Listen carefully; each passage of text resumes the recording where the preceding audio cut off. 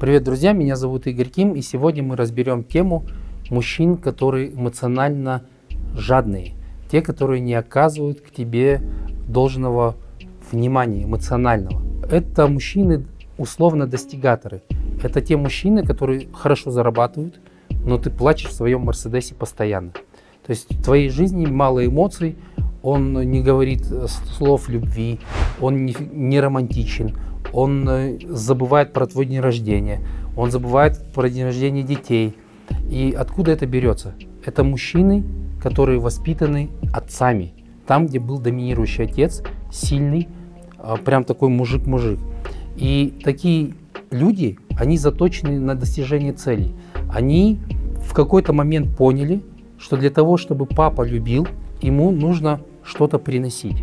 Красный диплом, пятерки за четверть, медали, первые места, кандидат мастера спорта, мастер спорта, купил Мерседес, купил квартиру, пятую квартиру купил, четвертую. То есть это люди, которым нужна постоянная цель.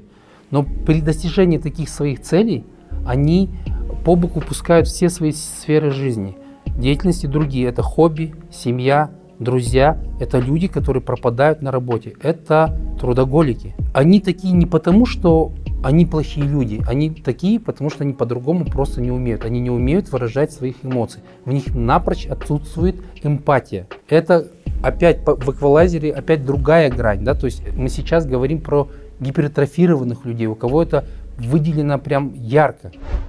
Что с таким мужчиной делать? Такого мужчину очень важно периодически выдергивать из контекста.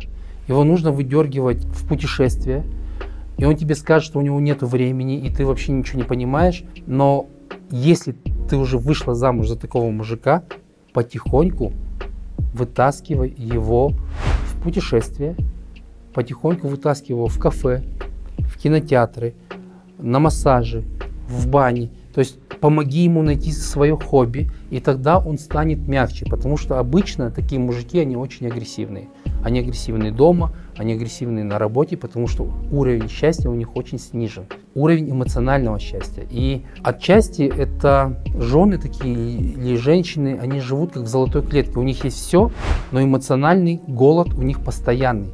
Они не могут получить ту любовь и благодарность, на которую они способны. Мало того, женщина не может проявить свою любовь по отношению к такому мужчине, потому что ей кажется, что он холоден и закрыт.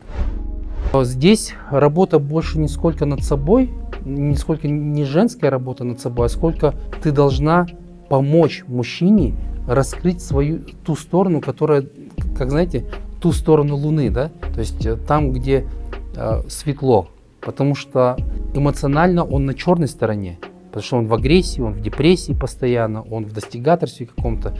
И такие люди, они идут в основном по головам, лишь бы достичь свою цель. И ты же должна его светлую сторону как бы просветить. Да? И ты тот проводник, наверное, в его жизни, который может повлиять на, не, на него, чтобы он стал лучше, добрее, чувствительнее. И он будет всячески сопротивляться, но если ты его спутник, спутница, помоги ему справиться с этим. Почему? Потому что этот человек, имея все и обладая всем, чаще всего он несчастный, так часто бывает. Но если мужчина гармоничный, тогда у него и с тобой будет все хорошо. Напиши в комментариях, встречала ли ты такого мужчину, живешь ты, возможно, с таким мужчиной, как ты с этим справляешься, смогла ли ты помочь ему стать более добрее, чувствительнее, или же у тебя не получилось. И пиши те темы, в комментариях, которые тебя интересуют. Пока!